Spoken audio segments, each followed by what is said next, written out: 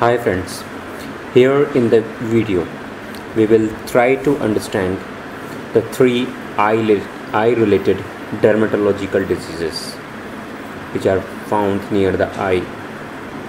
This red strawberry type of lesion on the eye is infantile hemangioma. Many hemangioma disappear on its own and some require the treatment like the surgical excision, laser therapy and medical treatment includes giving the oral pediatric propranolol hydrochloride which has shown about 98% success rate in case when it is given within 6 months of uh, this formation. Hemangioma like this can block one of the eye causing the occlusion amblyopia. Such hemangiomas can also be associated with the PHACE syndrome which i am going to tell you later.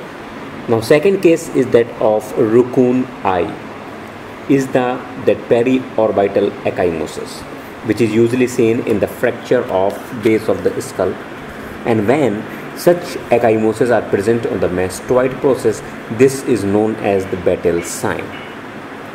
The third case is that of the molluscum contagiosum which is common during the children and is seen on the eyelids and eyelid margin. When these are present on the eyelid margin this is known as the ocular molluscum.